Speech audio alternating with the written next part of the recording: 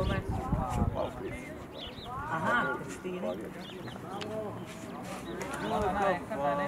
Akademski umjetnici Tomislav Levaja i Željko Kuderar Levak imaju priliku ostaviti svoj umjetnički pečat na um, ovoj predivnoj promenadi i nadamo se kako je još ovo samo jedna u nizu uspješnih suradnji.